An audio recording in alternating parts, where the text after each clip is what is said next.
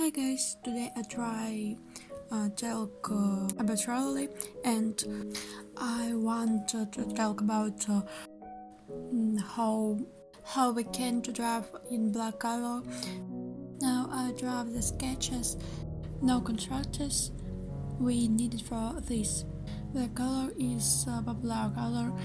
Um, we draw this color every day every work we use this color and we can use it correctly.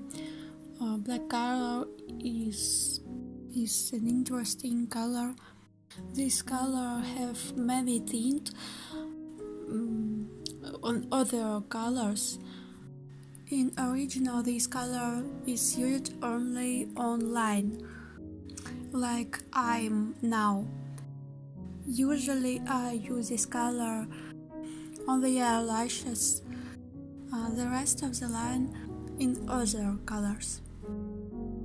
The tonality of the colors is important to the drawing.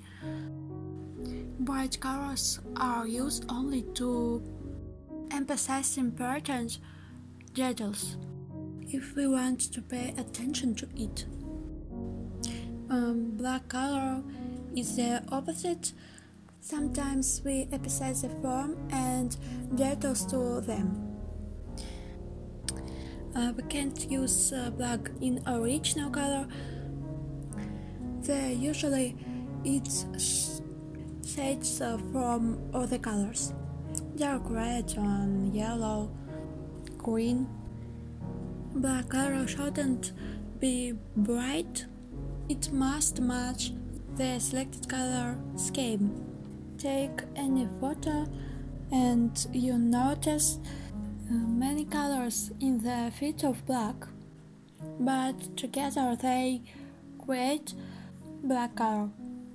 This is perhaps the most important thing as artists should know, to that the work is not dirty.